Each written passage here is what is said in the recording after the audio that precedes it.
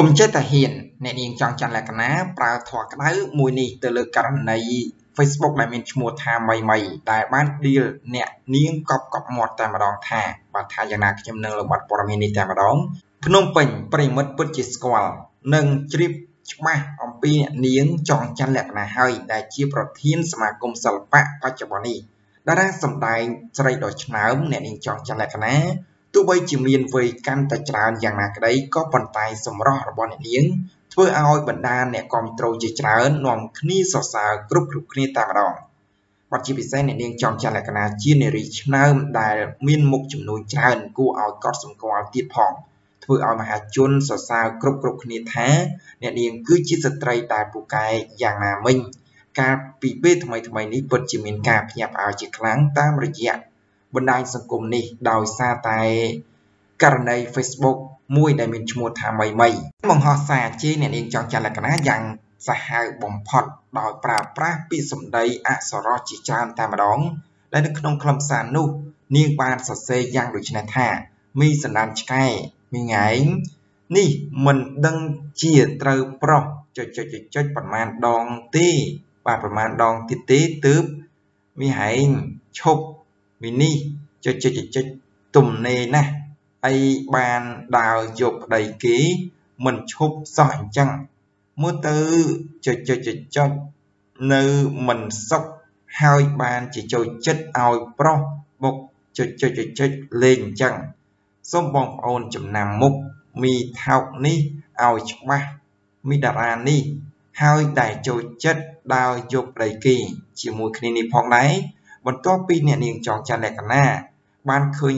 ការបង្ហោះនេះហើយអ្នកនាង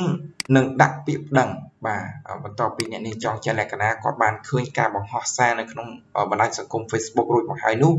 គឺអ្នកនាងបាននឹងដាក់បាទនឹងទៅដាក់ពាក្យបណ្ដឹងទៅកាន់ក្រសួងនាថ្ងៃស្អែកនេះតែម្ដងដើម្បីស្វែងរកជនអនាមិកនោះយកមកដាក់ទុនបាទមកដាក់ទោសទៅតាមផ្លូវច្បាប់ និងជួយស្វែងរកយុត្តិធម៌ជូនដល់ម្ចាស់ករណី Facebook ឡើងវិញកុំឲ្យមានជនអនាមិកនេះបង្ខូចកេរ្តិ៍ឈ្មោះនាងបន្តទៅទៀតបាទនៅក្នុងនោះផងដែរនាងចងច័ន្ទលក្ខណៈក៏បានភ្ជាប់សារមួយឃ្លាថាលើកនេះចាំតែរួចខ្លួនទៀតទៅនាងតូចចាំមើលអ្នកណាជាសัตว์ពង្រូលទៀតបាទសัตว์ពង្រូលទៀតនោះបាទប្រិមិត្តចង់ជ្រាបច្បាស់នោះសូមទៅមើលកម្រងរូបភាពនិងទស្សនា នៅអាចុចរបស់ខ្ញុំដែលខ្ញុំបានប្រាប់នោះបាទពីព្រោះខ្ញុំអត់រៀនអានទេនិយាយទៅវាពាក្យអក្សរមែនទែនគាត់ប្រើពាក្យហ្នឹងហើយពាក្យមីហងនេះគឺខ្ញុំអត់សូវចេះប្រើទេបាទតាមពិតពាក្យមួយចំនួនវាត្រូវតែយើងអ្នកសារព័ត៌មានត្រូវតែបង្ហាញអញ្ចឹងណាប៉ុន្តែពាក្យមួយចំនួនទៀតវាមិនសមជានឹងប្រើសម្រាប់ជាអ្នកសារព័ត៌មានអញ្ចឹងទៅ បាទខ្ញុំដូចពិបាកក្នុងការទទួលយកដែរពាក្យសម្ដីទាំងហ្នឹងពីព្រោះថាវាធ្ងន់ធ្ងរពេកបាទលក្ខណៈ JDL គឺធ្ងន់ធ្ងរពេកហើយក៏មិនដឹងថាតើ account ឈ្មោះថាម៉េចម៉េចនេះត្រូវបានជនអនាមិកណាមួយដែល hack យករបស់គាត់ហើយអឺហើយក៏បង្ហោះនៅសារនឹងដោយអត់មានខ្លាចក្រែងអីបន្តិចអញ្ចឹងណាបងបងប្អូនបាទកន្លែងនេះគឺជាចំណុចមួយដែលអ្នកនាងចង់ចាត់លក្ខណៈនឹងវេកមុខ ទៅលើជនអនាមិកនេះយកមកផ្ដន់ទីទូទៅតាមផ្លូវច្បាប់តែម្ដងបាទ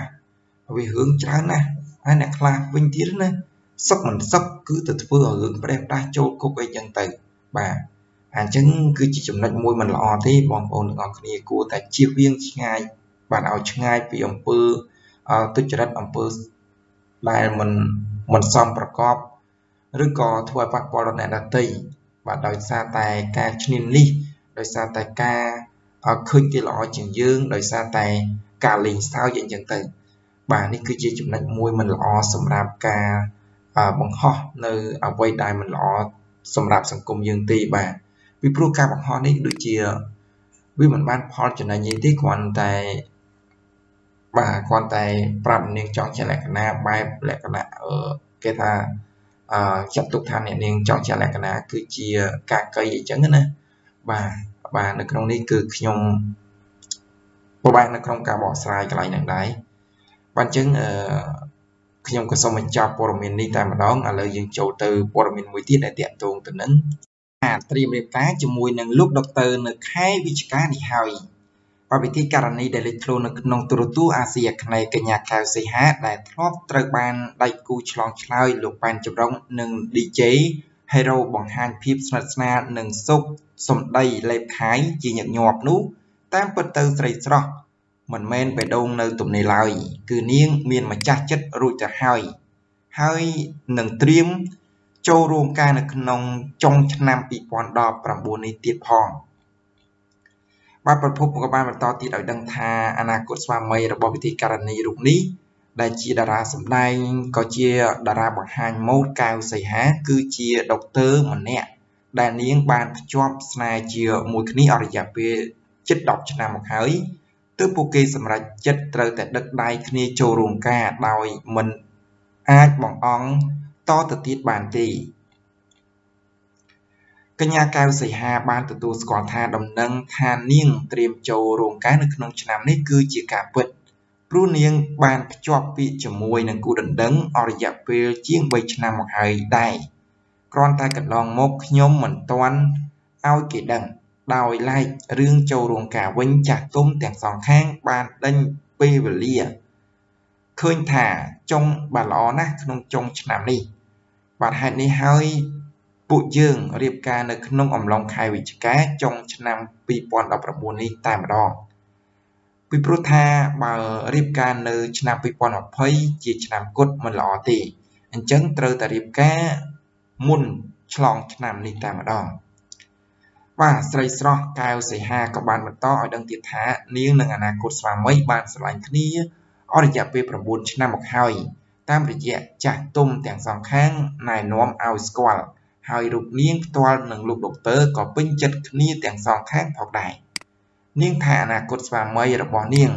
មិនដែលហួងហែងការងារសិល្បៈរបស់នាងទេ ហើយទោះបីជារៀបការរួចក៏នាងនៅតែបន្តអាជីពសិល្បៈដូចមុនដដែលនឹងព្រោះថាប្តីពេញចិត្ត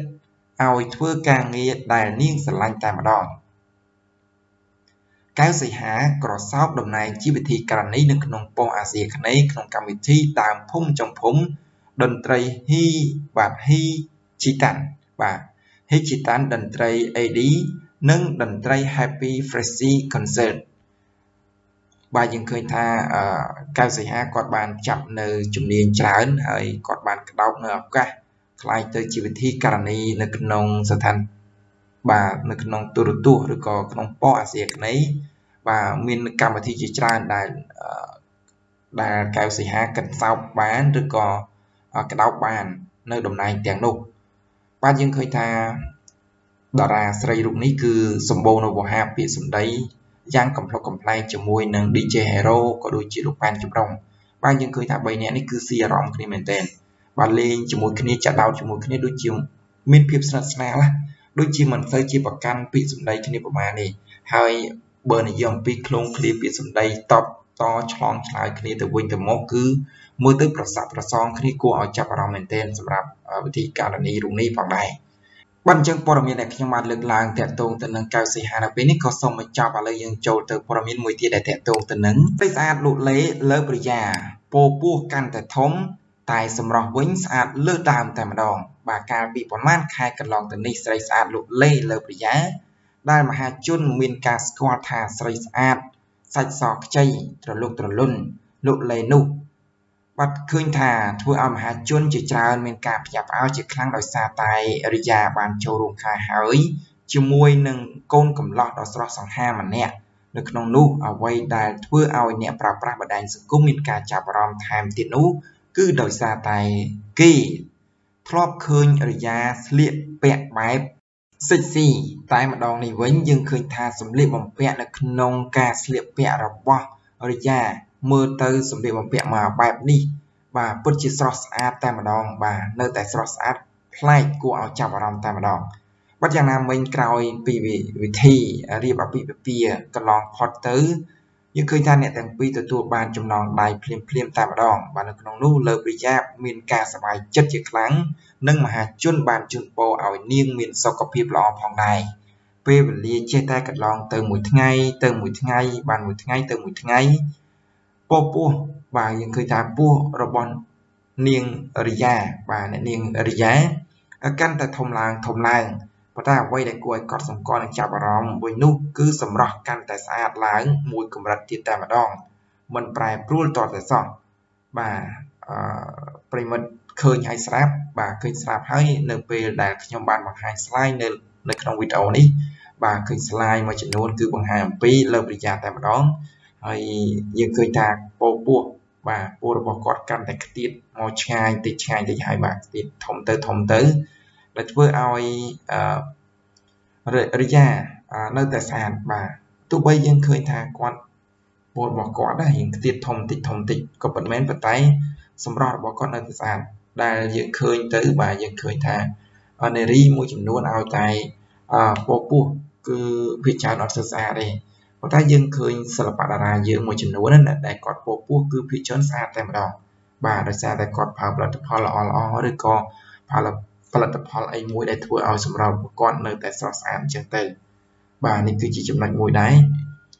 អញ្ចឹងព័ត៌មានទាំង3ដែលខ្ញុំបានលើកឡើងមកនេះក៏បានបញ្ចប់ផងដែរដើម្បីបន្តបាននូវព័ត៌មានបន្តទៀតសូមជួយចុច like ចុច share និងចុច subscribe លើ Channel Stand Up របស់យើងខ្ញុំផងដែរបាទសូមអរគុណសូមជម្រាបលា